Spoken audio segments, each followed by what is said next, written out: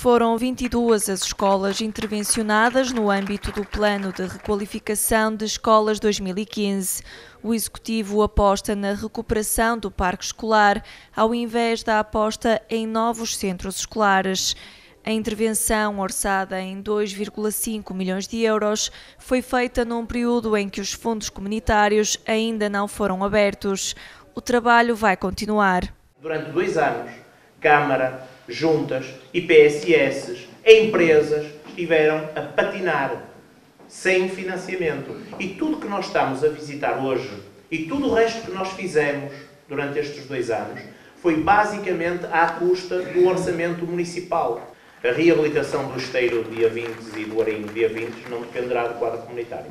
A reabilitação integral da biblioteca municipal não dependerá do quadro comunitário. Os dois pavilhões que temos em vista, a Vintes e Canidelo, não dependerão do quadro comunitário. E são projetos ambiciosos, juntamente com a loja de atendimento, que vai finalmente desbloquear um conjunto de eh, problemas que o município tem e que o centro cívico tem.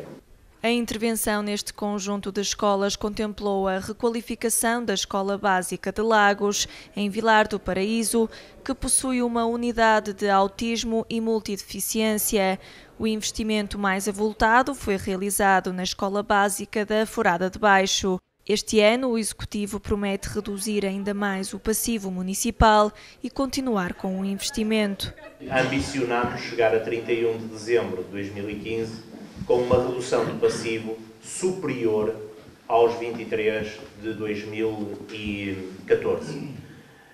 Ambicionamos cerca de 26, 27 milhões de redução de passivo.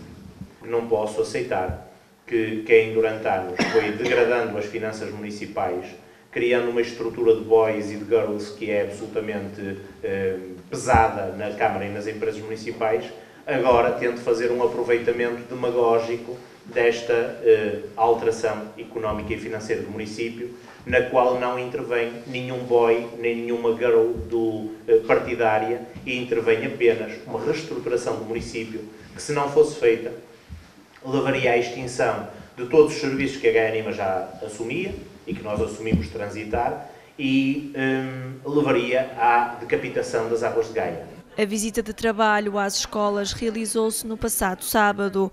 Foram visitadas as escolas básicas do Loureiro, em Grijó, da Granja, em São Félix da Marinha, de Sá, em Arcozelo, dos Carvalhos, em Pedroso, do Seixo Alvo, em Olival, da Furada de Baixo e o Jardim de Infância de Canidelo.